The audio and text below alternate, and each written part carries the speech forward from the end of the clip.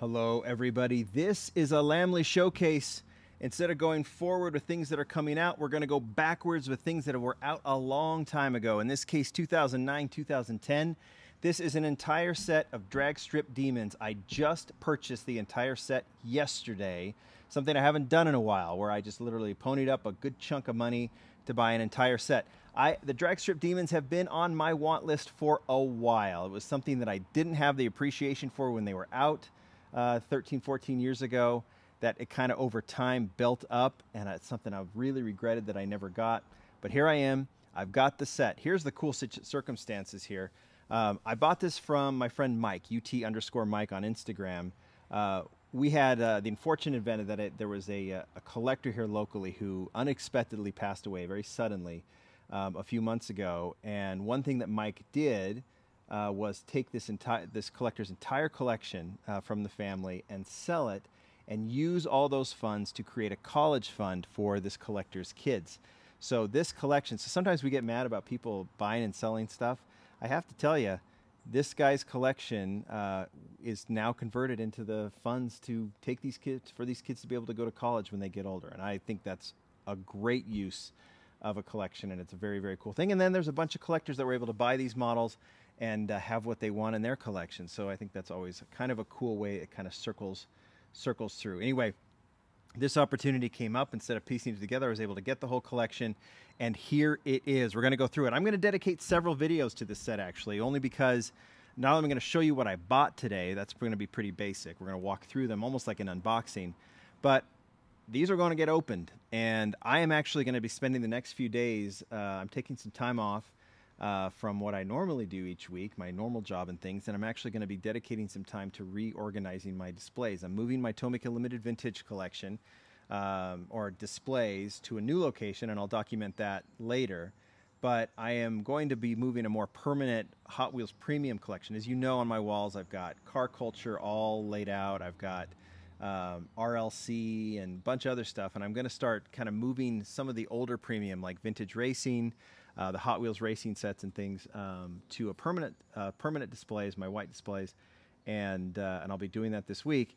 And I'm very excited to have the drag strip demons because I'm going to add them next to the vintage racing, and I'll document all of that. We're going to open these up like I would a normal showcase in future videos, and uh, we'll get to that.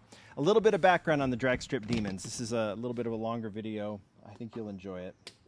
Many of you are familiar with the drag strip demons. They actually use that name in a car culture set later on with a bunch of gassers.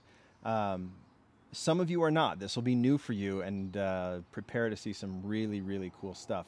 Um, 2009, 2010, Vintage Racing came out.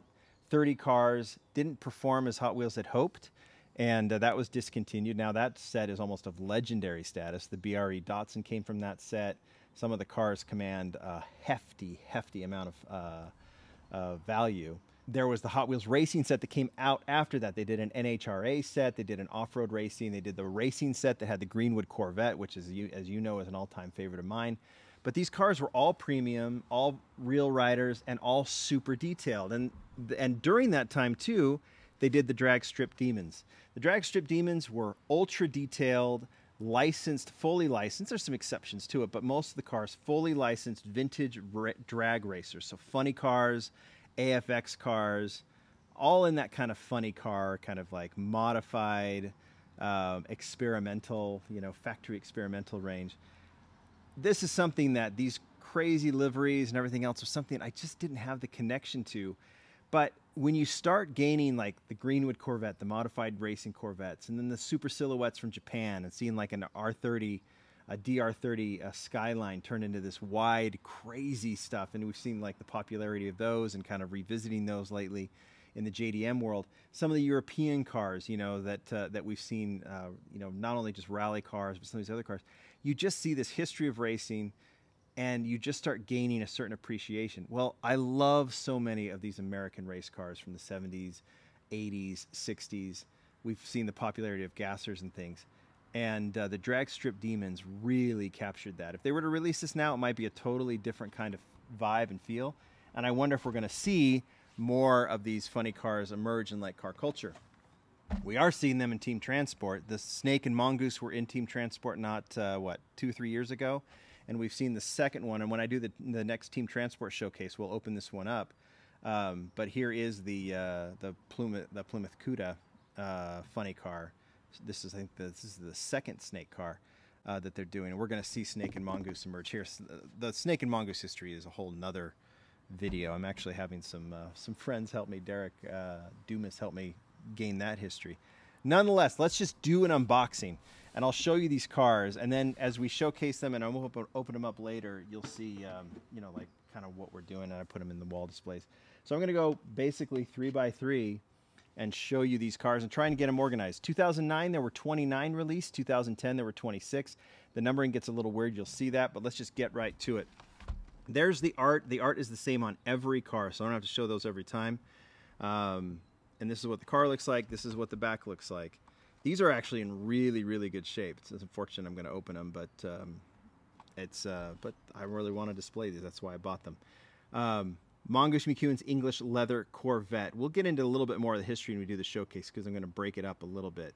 But you can see this is an actually this is a beautiful casting. Um, some of the castings are a little rough. They came from an older era, and then other castings were actually built and released during this time, or they came from when they were doing these more realistic style castings. This is number six of 30, so I'm going to kind of move it here because you're going to see how I'll lay these out. This is number seven of 30. This is Roland Leong's Hawaiian Charger. Notice, like, the licensing here, not only do you have, and like I said, I'm learning too, like, what is actually licensed and what is maybe something that the Hot Wheels team made up, but you get all of the sponsors all of the decals. You get the details front, back, everything. And, uh, you know, when we open them up, this one is a wheel variation. This is the lace wheel. There's a five spoke in here somewhere, so we'll get to that. That's number seven. Number eight is Butch Leal's 427 Thunderbolt. This isn't a funny car per se, right? It's not the one that has the fiberglass body that you open to get into. But still, these cars were considered kind of, you know, they were they're factory modified. The Thunderbolt's a little different, but uh, you know, made for drag racing, right? This is number eight. So one other thing to know, the number 28 of 30, the number of 30, those are the cars from 2000, I'll tell you. These are the 2009. There was 29 cars in that set. When it says 2008, that means they're released in 2009. And then the 2010, the numbering is a little different. You'll see that. So this is number 20. This is uh, there's your there's your mongoose. Ton of snake and mongoose. This is mongoose 2 Plymouth Duster. 28 here because that's towards the end. Yeah, 29 and 30. 1971 Mustang funny car. This is the Go to Blazes car. This is actually, I think, a rare one, one that was hard to uh, to find back in the day. And I see a lot of people who are collecting that are looking for that one. Um, that's one of the fortunate things of buying the whole set. This is Bruce Lar- Larson's USA One Camaro. We'll see a few with this kind of USA type of livery on it appropriate for the time, the era, and the cars being used in these sets, right? So we're seeing all of these numbers. These are all from those first 30. You'll, it's actually 29 because number 18 was never released. And so this is 14, another Ford Thunderbolt. This is the Mariposa Mauler. Matheson, uh, what is that? See, I think this one actually might be. This one might be made up. I'm not sure. I'll have to look it up they're they're all true like history lessons. These cars, um, you can go and look them up. Like this one here, you talk about funny cars. This is D- Dick Landy 65 Coronet AFX. A- AF, the FX means factory experimental.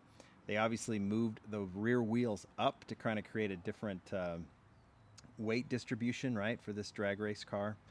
Um, we saw the Coronet came in this set. Think there are two or three versions of it, and then it just vanished until the drag strip demons and car culture a few years ago. I'd love to see this casting released again. It's super super cool. Love the wee t- the wheels and all the details. These are just amazingly high high premium cars. Just everything about it. Anyway, that's number 15. And number 16, Don Prudhomme's Army Snake Cuda. So there's another Don Prudhomme. We're going to see Don Prudhomme and, and Tommy McEwen a lot. I hope I'm saying Don Prudhomme's name right. I'm so used to Snake and Mongoose, right? That's number 16. All right, so the numbering is a little different. Notice this is number 14 of 30. This is 25 dash of 23. So this is the 2010 set. I bet it says 2009 there. Yep, right there.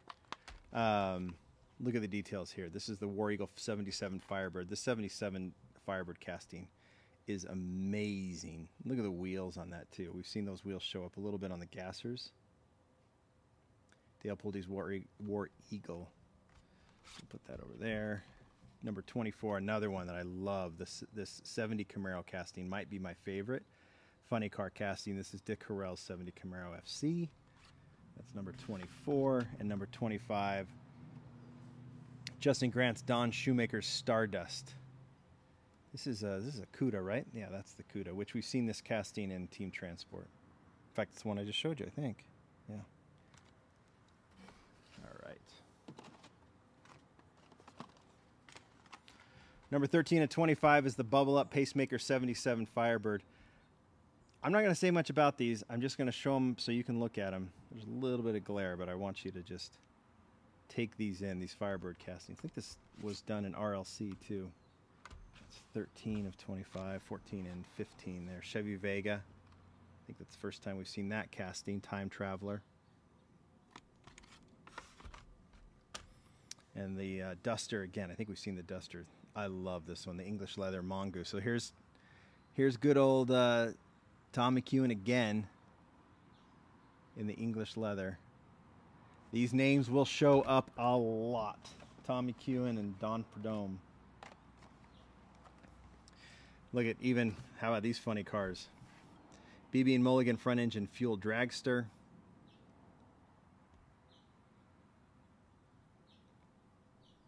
They're funny. That's number 12. Here and then back to the uh, 2010 set. There's your snake and mongoose again. So there's Prudhomme's wedge dragster. These I won't be able to put in my displays. They're just entirely too long. So I'll have to put them in my uh, workbench, but uh, I'll have them. And then the Mongoose McEwen's the wedge dragster. So there's good old Snake and Mongoose. Um, we'll talk more about Snake and Mongoose, but they, uh, you know, they're famous for creating this rivalry. They were friends, and uh, I think it was McEwen. I think it was McEwen who uh, who approached Mattel about the sponsorship, and that was beneficial for everybody back in the day. All right, Dodge Coronet AFX. This is the honker. I think that's a tough one to find. Another one of those AFX cars.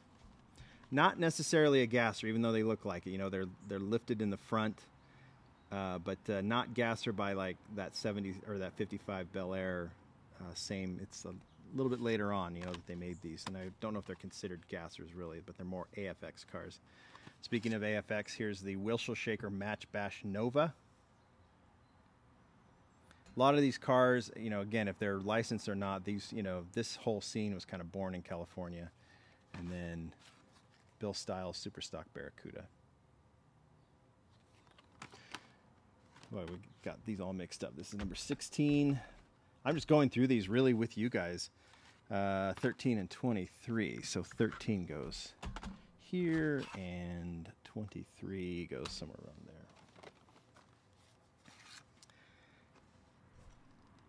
There's a Plymouth Arrow FC, the Northwest hitter. Buc-ee's. Number 24 from 2009, Bruce Larson's USA 1 Camaro. Not to be confused, right? Or Corvette, right? This is the Camaro, there's the Corvette.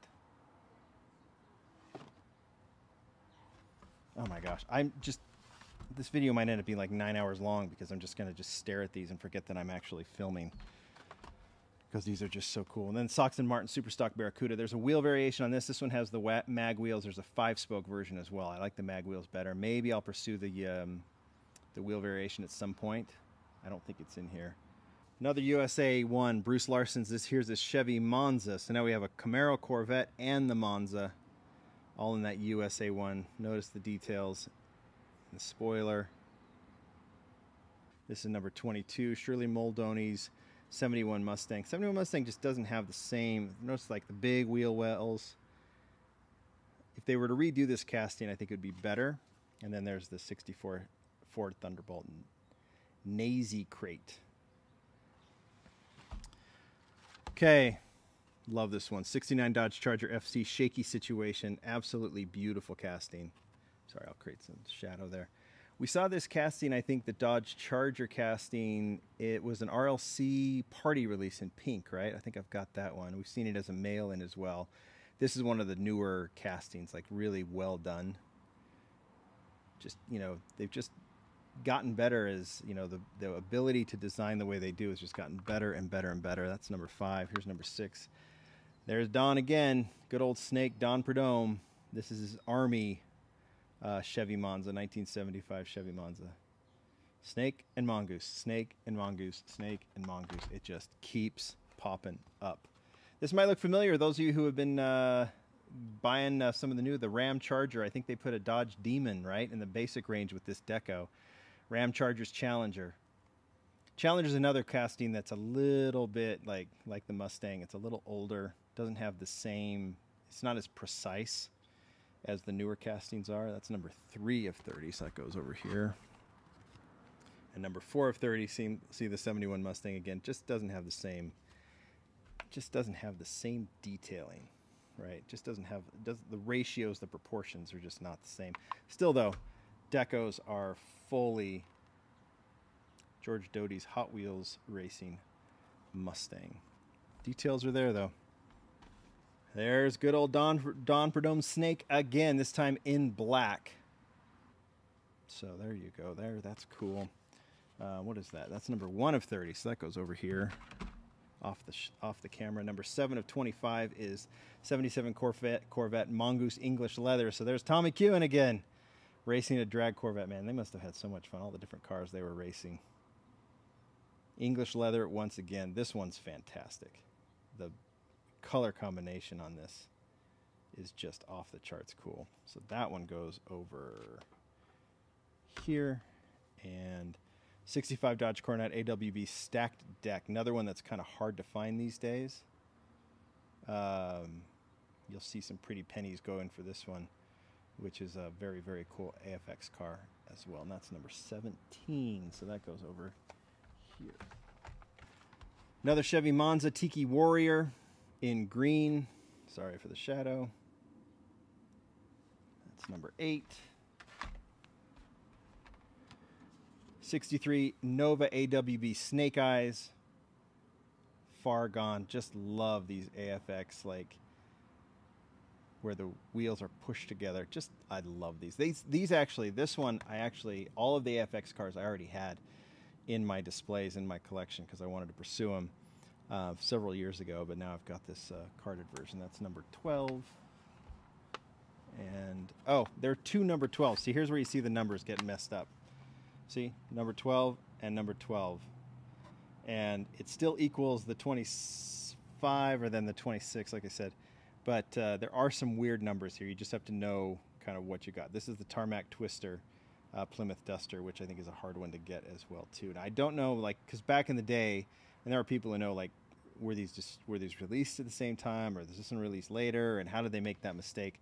Ultimately they're both from the same 2010 year. Um, but uh, yeah numbered the same but obviously different. So there's no i think it's is it I actually think there's still a 13 and stuff it's just kind of anyway just kind of messed up. All right.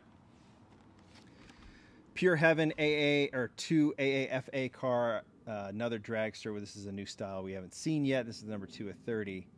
Number 27 of 30. Now, this is Don Prudhomme Snake 2 Plymouth Cuda. Look at this. So, maybe that's one you don't need. Now, there are some differences here. Well, let's just get to that. There's Gary Desham's Teacher's Pet Challenger. That's number 9 of 30, so that will go kind of off the camera shot over here. But yeah, see, these are the same. This is the uh, Snake 2 Plymouth Cuda. You can see pretty much the same design. Plymouth with Pennzoil and wings. It might even be more precise now. Flames on the top. It's the exact same casting. I didn't, like the back is different. Look at that. Some more detailed. I don't know if that's something that it's more accurate on the new version for Team Transport. So essentially the same car, right? Okay, number four of 25. 70 Camaro FC Steve Nichols Mill Road Boys Camaro. This is the same kind. Like these Camaro castings, look at the little smiley face there. These Camaro castings with these kind of decos, this is just, look at the tires. These are so high on my list that I'm so excited to have and open up. And as beautiful as these carded cars are, I just want them all displayed together. All lifted up like this. I just love that one. That's number four. Put that there. Number 11 is Roland, Roland Leong's Hawaiian front engine dragster. Just got another one of those. Like there was a, where was the other Hawaiian, right? There's, I have to find it, but there's the Hawaiian Charger and the Hawaiian uh, front engine dragster. Here it is. Roland Leong, Roland Leong. How cool is that? All right, that's number 11. Right there. And then the Pisano and Matsubara 74 Vega. This one's very cool too. Love the deco on this one. You know, you start putting these together and you start seeing like the history start to kind of make a lot of sense of like that. Why, you know, us collectors, we've kind of, our newer collectors, they're, you know, the flames and the big wheels in the back, you know, that's not necessarily our thing. It's like the more realistic models, but you can see where the influence was coming from these California dragsters and everything. Big, fat slicks in the back, small wheels in the front. That kind of rake is just was just the way you want to look. And it doesn't matter the car. If you could add a rake to it, it was cool. So that's just you can just see where Hot Wheels history is. Hot Wheels. Uh, this is the front engine. Actually has the Hot Wheels logo on it. Hot Wheels front engine fuel dragster. Oh, there's Moon Eyes showing up. 71 Mustang. There's that rough casting, but man, it looks good here. Pluger and Geiger Mustang in black. That's number three of 25. That will go up there. And then another AFX car, Dave Strickler 65 Coronet AFX. Love the mismatch wheels in this one. Love the color. Love the deco. That's a favorite. But it's been for a while. I've had that in the collection, right? That's number 10. There's good old Don Prudhomme's Army Snake Arrow. That's number 9 of 25. This is the one I showed earlier. This might be one of my favorites just because I love that. Oh boy, the shadow's really throwing us off here. The rough and tumble deco on this one on the Duster Funny car. That's number 17. Over here, 15, 16, 17. And then this might be a name you're familiar with Mike Zarnock's Altered Roadster. What a cool deal. Mike is not only a Hot Wheels historian and has done, he has the variation books and, you know, has been on shows and everything else and really has, is so closely associated with Hot Wheels, but he is a total gearhead too and loves to do these kind of racing cars. And this is actually a replica of his altered Roadster he'll talk about this. He's still, uh, you know, if you can ever get your hands on this, go find him at a convention, have him sign it, because that's a really cool. What a cool thing! Not only was it just his name on it, but this is his actual car. So really, really special car right there, especially for the Hot Wheels collectors. Um, who know uh, good old Mike and his Hot Wheels TV. He's got a YouTube channel. Been around a long time. Cool dude. All right. 70 Dodge Challenger FC Code Red. Challenger casting is not great, but that's number two. Boy, I'm going way up here now. Um, number 25 of 30. There's Don Prudhomme's Army Snake Vega again. You can see how these show up, and you can start putting them together, and you can see how they work. Um, but yeah, different. You had the Vega, and I could try and put those all. You can see they're different. Vega and the Cuda. Look the same, but they're different. That's number 16. That's number 25. 16 goes here. 25 goes here. And another one of my favorites, 70 Camaro Funny Car in Gangrene. 70 Dodge Challenger FC All Star Dodge. Ugly casting, really nicely decoed. English leather Plymouth Duster. The Duster casting, super, super cool. And there's good old Tom McEwen again. 1974 Duster. I mean, just look at the decos on this. Mongoose on the hood. Just so impressed with these. You can see that, oh, they don't make them like they used to, kind of. As I mean, car culture is fantastic, but, um, you know, these, and these actually fit in nicely. Oh, okay, there's the Hawaiian Charger. There's the wheel variation. So there, we'll pull that out again. Notice lace wheel, five spoke. So I don't know if I'll open both. Maybe I'll pick the one I like the best and uh, display that one. Keep the other one carded. And the last one, just to finish it off, Little Nate's Plymouth Cuda Funny Car. Lil Nate. And that's number 20 of 30. So that goes way up top, too. There you go. That is the entire set. Like I said, there's some numbering where there's the du- there's the duplicate number 12s. There's no 18, and so 12. There's two number 12s in the 2010 set. There's no 18 in the 2009 set. I believe, from what I understood, the uh, stacked deck AFX car was added to kind of basically replace the number 18 um, that was missing. So it's 55 cars total. They look phenomenal. I cannot wait to open them. Uh, what a cool thing. I haven't done that where I bought a whole set. Uh, I haven't done that in a while, but uh, what a treat. You guys tell me what you think. There'll be a part two, there'll be a part three, might even be a part four. I'm going to dedicate a lot to these, and they deserve it. Who collects these? Who wants them? Who's going to pursue them? You guys let me know. Thanks, everybody. Bye.